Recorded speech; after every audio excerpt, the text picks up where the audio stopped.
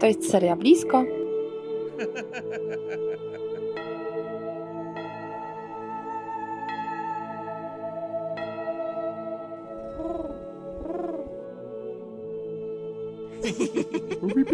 Yes. Odcinek 15 o zaufaniu z bratem bankomatem. Witajcie kochani. Chcemy Was przywitać dzisiaj w Kalwarii Kocławskiej. Jesteśmy tutaj na takim naszym krótkim weekendzie skupienia. Żeby trochę się zatrzymać, żeby trochę pobyć przed Chrystusem ze sobą, żeby poświęcić Mu czas. I, tak się zdecydowaliśmy na to, żeby nagrać to stąd.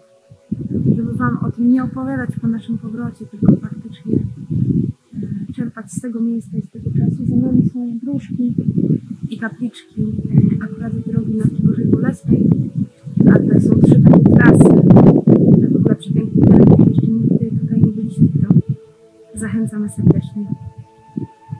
No i tak naprawdę gdzieś gospodarzem tego miejsca jest brat Wenanty, Katarzyniec, sługa Boży i e, Matka Boża słuchająca. Tak jest przepiękny obraz Maryi, która ma odsłonięte ucho i trzyma małego Pana Jezusa, który też ma odsłonięte ucho. I tutaj ludzie wypraszają właśnie łaski od Matki Bożej, która słucha. My tutaj przyjechaliśmy też po to, żeby być wysłuchanymi, ale też po to, żebyśmy my od niej uczyli się słuchać.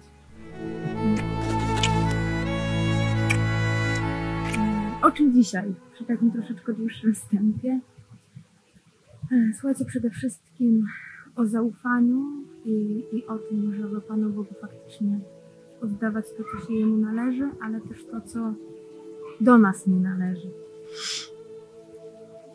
Tak, i wiecie, to jest e, właśnie takie miejsce, w którym my się e, jako para, jako e, narzeczeni spotkaliśmy z Panem Bogiem. W takim czasie, który ma być też czasem jakiegoś zawierzenia, ma być czasem właśnie takiej e, drogi do zaufania, takiego e, czasu budowania tego zaufania e, do Pana Boga. I są takie sytuacje w życiu, gdzie e, no właśnie, nam, nam tego zaufania jako, e, jako ludziom brakuje, bo, e, bo chcemy kontrolować, bo chcemy mieć na wszystko wpływ,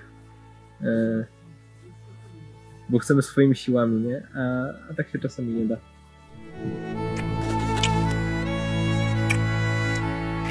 Też właśnie są takie rzeczy, które są poza naszym zasięgiem, to znaczy one są albo zależne od kogoś innego, albo gdzieś zależne od okoliczności, od czasu, od decyzji różnych osób. E, Ja szczególnie mam tak, że mam w sobie wtedy bardzo dużo takiej chęci kontroli, chęci zrobienia wszystkiego, żeby było dobrze. A no właśnie, tak jak Kacper powiedział, są takie sytuacje, kiedy my nie mamy wpływu i trzeba się na to zgodzić. E, I tutaj to jest miejsce na działanie Pana Boga.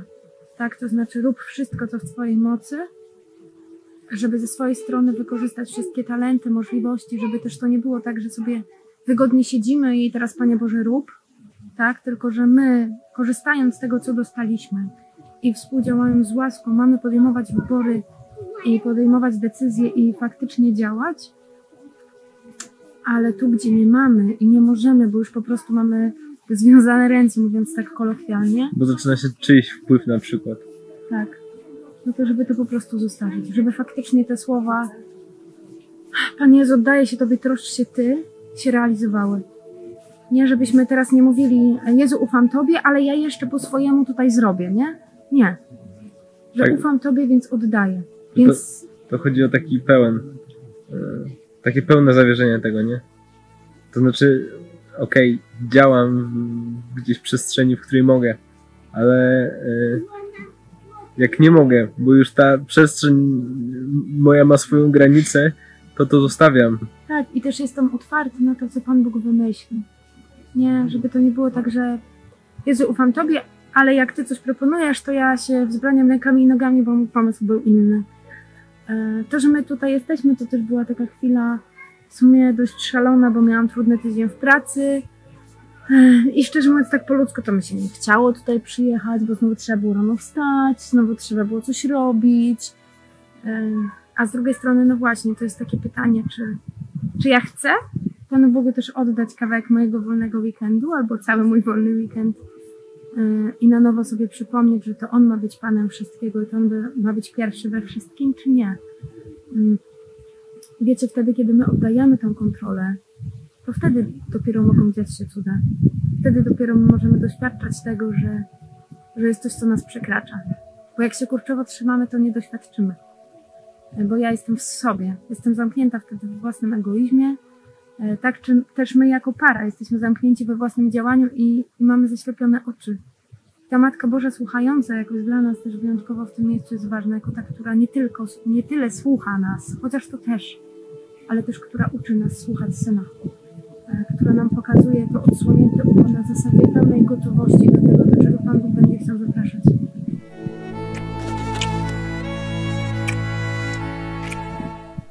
Też wiecie, no właśnie, to jest takie niezwykłe miejsce, tu mamy y, sługę Bożego Ojca Venantego, który y, był, mówił na, na niego brat bankomat. Y, to był bardzo dobry przyjaciel y, ojca Maksymiliana. Kolby. Tak, i jak y, świętemu Maksymilianowi brakowało pieniędzy na coś, to pisał listy do ojca, do brata y, Wenantego. Venantego. Czy później też po jego śmierci też się modlił, nie? Na zasadzie jak e, ojciec Wenanty da, to będzie, jak nie da, no to nie będzie.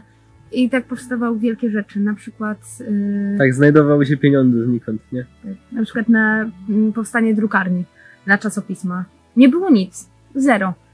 A raptem wydał się pierwszy numer, e, były kupione maszyny i wszystko poszło, chociaż było logiczne, że to się nie uda. I Po właśnie i ojciec Maksymilian w tym też oddawał e, tak to poczucie kontroli i wychodził poza tą e, przestrzeń, w której on mógł działać, żeby ktoś inny mógł zadziałać, nie? Dlatego e, nie zostawał z tym sam, bo oddawał to, to wszystko Panu Bogu, ale oprócz tego, no właśnie, pisał do, do Ojca Będącego, ty, ty się o to pomódl, ty jakoś wpłyń na to, żeby to się znalazło, nie? I, I on to zostawiał i, i się znajdywało. Bo chodziło o tą przestrzeń, do której już my nie mamy wpływu działania, więc oddajemy ją e, na, na górę, tak? Ale też innym ludziom. Bo czasami będzie tak, że ktoś inny ma e, trochę inną przestrzeń i tam może zadziałać, nie? Tak, to też czego my się uczymy w tym miejscu, e, to też tego, czego myślę, że przynajmniej nam, tak, gdzieś tam w modlitwie brakuje, uczymy się tego, żeby to też zawierzać. Żeby się nie bać, nie wstydzić, po prostu modlić o pieniądze. Modlić o zmianę pracy, o dobrą pracę. Ja mam teraz taki moment, kiedy jedną rzecz, którą bardzo wkładałam w serce, gdzieś Pan Bóg mi e, zostawił. I, I jestem na etapie rozeznawania, co dalej. Mm, I tutaj też się uczymy, żeby, żeby też tą ekonomiczną stronę naszego życia też zawierzać Panu Bogu. Żeby wprost się modlić, Panie Boże, my potrzebujemy dalej. E, Tak to mamy w Ewangelii, żeby się nie troszczyć o pieniądze, w tym sensie nie trzymać ich kurczowo, ale że Pan Bóg naprawdę y, tutaj, w tej przestrzeni też chce nas wspierać. Nie? Jak macie jakieś trudności ze znalezieniem pracy, czy jakieś, nie wiem, kredyty, nie kredyty, jakieś trudne rzeczy się dzieją, módlcie się o to. Wiecie, tu jest takie miejsce, gdzie ludzie przyjeżdżają z całej Polski, żeby nie chodzić z całego świata i zostawiają modlitwy, prośby. Jak się czyta później świadectwa tych ludzi, z jakich sytuacji mm, sługa Boży Wenanty pomógł wychodzić, to to jest niesamowite. Że tak naprawdę raptem znalazły się fundusze, raptem znalazł się człowiek, który pomógł. Raptem, nie wiem, był umorzony jakiś kredyt, albo się okazywało, że ktoś dostał skądś jakieś duże pieniądze, żeby po prostu rozwiązać sprawy, nie? Że Pan Bóg też w tej przestrzeni takiej ekonomicznej chce działać. Zresztą to też mamy napisane w Piśmie Świętym, nie? Że skoro e, lilie są tak pięknie ubrane, a ptaki nie, nie muszą się troszczyć o jedzenie, to ileż e, nam więcej Pan Bóg chce dać, nie? Tak, żebyśmy też mieli wiarę że On naprawdę jest dobry. I On naprawdę daje hojnie. jeżeli się go prosi, z wiarą. Nie? Ale też nie na zasadzie założenia rąki teraz ty daj, tylko na zasadzie współpracy z łaską i pytanie, co mamy robić.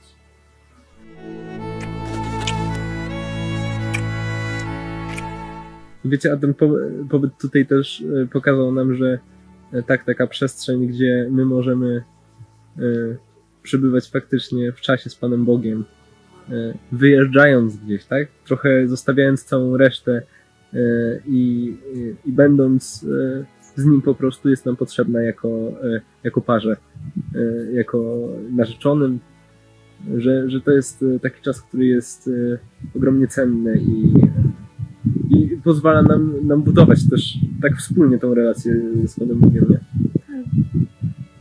że to porusza. Jak nie macie takiego doświadczenia wspólnego wyjazdu, na rekolekcję też, ale też takiego wspólnego wyjazdu, żeby gdzieś w jakimś miejscu, może właśnie bez zorganizowanego czasu, tak? który ktoś nakłada z góry, bo jest jakiś temat, bo jest jakiś ksiądz, który mówi katechezę i tak dalej, to spróbujcie, bo to naprawdę bardzo buduje.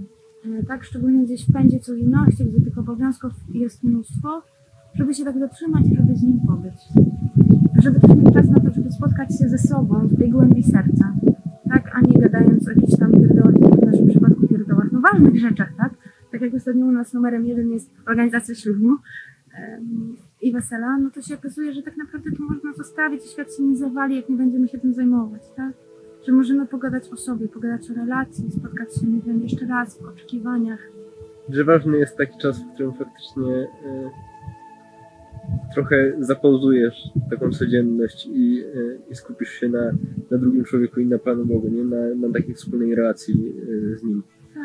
I też Bo nie zawsze mamy do tego przestrzeń tak, tak na co dzień. A jeszcze mamy wakacje, może warto e, gdzieś to wykorzystać i, i dać sobie nawet takie dwa dni, gdzie, e, gdzie po prostu e, pojedziecie gdzieś i, i spędzicie ten czas z nim. I też, wiecie, to co dla mnie było niesamowite, to taka, taki uśmiech Pana Boga, y, doświadczenie wspólnej spowiedzi.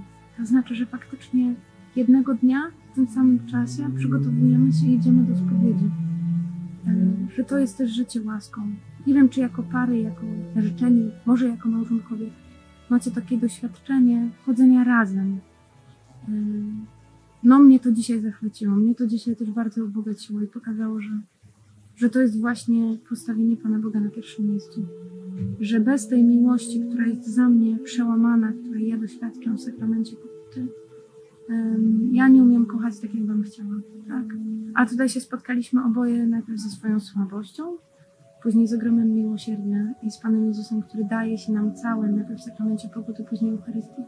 I że jesteśmy w tym razem, no, to, to takie dla mnie wielkie wzruszenie tego czasu. Też daje to taki, hm, tak to brzydko nazwę, restart e, w stanie po prostu, tak? W sensie jesteście na tym samym etapie, albo jesteście w łasce uświęcającej i to też zbliża was do siebie, Tak, bo jesteście w stanie budować relacje e, z tym samym stanem ducha. i wtedy jest naprawdę blisko.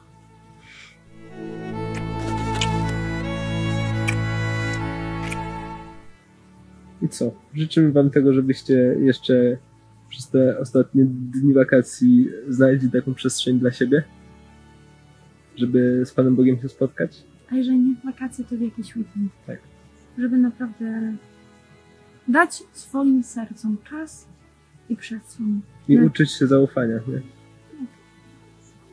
Też o pieniądze, bo czemu nie? Bo to też nasza przestrzeń, taka życiowa.